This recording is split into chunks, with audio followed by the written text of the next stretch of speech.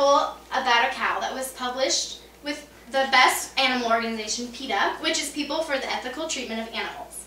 It's a cow from Kentucky who was left behind and could not move. She was attacked by dogs and left there to suffer until an activist intervened. After failed numerous attempts to contact the police, a butcher came, shot her, and sold her for her flesh. This cow was used for her body, but it does not always end up in death. People typically live with the out of sight, out of mind philosophy, but that doesn't make it right. A vegetarian lifestyle is a good one for humans and animals, but vegan is better. A vegan is somebody who does not eat or wear any products produced by an animal. It's time we break the mold that people fear about veganism and share the truth. There's a lot of misleading information about dairy farms and clothing industries as cows, chickens, and other animals suffer over a longer lifespan. So there are many myths out there about dairy um, productions that are alarmingly untruthful. I'm sure you guys have all heard that cows have to be milked, so why not drink it? The fact is that cows are just like women, whereas they only produce milk after giving birth. Rachel Owens, one of PETA's coordinators, said that the cows are hooked up to machines and they are milked 10 times more often at a dairy farm than they would ever produce naturally. Here's another one that I'm sure you guys have all said before. Milk gives me strong bones. Wrong. Milk is the worst source of calcium. Our bodies can't absorb animal milk, so it actually leaches out from our bones. An article published by Good Health Supplements suggests that fruits and vegetables are the best source of calcium, which is the perfect for the vegan diet. The research also went on to say that milk has been linked to diseases such as diabetes, osteoporosis, and chronic fatigue. And in a 12-year study done at Harvard University, 78,000 women who drank milk three times a day broke more bones than the women who rarely drank milk at all. So more animals out there other than cows are being tortured on dairy farms. So when you guys picture a chicken, you see it running along in an open field with the sun on its feathers. Well, this never happens. Chickens are overstuffed into wire cages where they can't even lift one of their wings.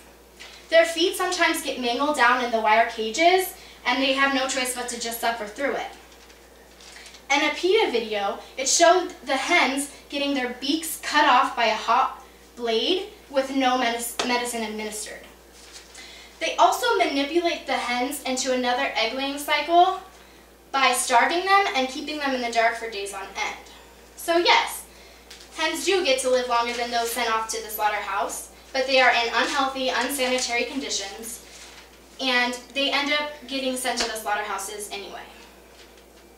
So there are also other ways that innocent animals are being tortured other than through the food industry such as the clothing and science industries. So here is a short clip um, filmed by an undercover PETA employee of an, somebody skinning an animal alive.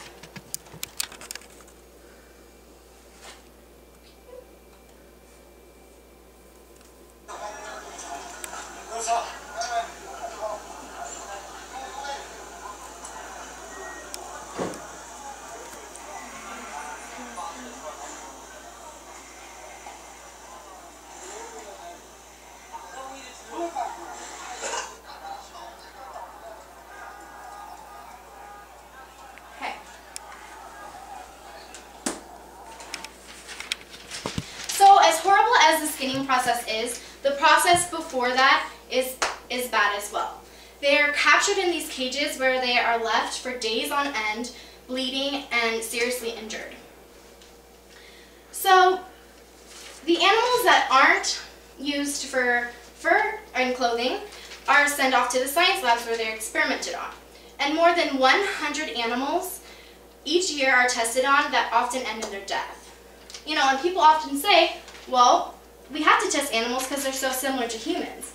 Exactly, they are so similar to us. They can feel pain, loneliness, and fear just as we all feel. And an article um, published in the Journal of the American Medical Association, researchers warned that patients and physicians should remain cautious about extrapolating the finding of prominent animal research to the care of human diseases. Basically, that's just saying that it's not so cut and dry. That just because they may find a cure for cancer for a, a mouse, it's never been replicated to a human being. So there are various ways that animals are being tortured other than through the meat industry.